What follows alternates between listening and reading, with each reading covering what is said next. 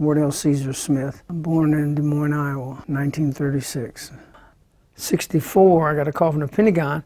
Um, basically, what he said is, you got, you're going to get orders for Korea, but if you wanted to, you could volunteer to go to Vietnam. But we were all working with the Vietnamese uh, military. There were four of us on a team, and we'd be assigned to a Vietnamese infantry battalion as they went out on operations, we were there to support them and give them some tactical advice, possibly. And under fire, of course, you fought like everybody else. But I think the idea was try to let the South Vietnamese know that we were in this war with them, that we were going to support them, that we were there for the long haul, and that if they needed our help, we were going to be there. But they had to fight the army, they had to fight the war.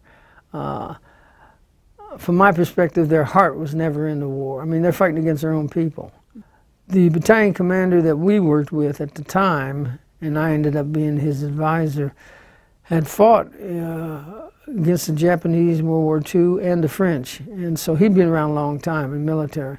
So it was kind of like, do I really need to give him advice or should I be listening on how we're going to stay alive? Because he knows more about this country and how to survive in it than I do. The first time I'd been in the combat area, so the first time we got shot at was a, a new experience for me. Like, what do I do now? I got Parkinson's now and I tremor and I shake, but I was nothing like I shook that first night we got shot at.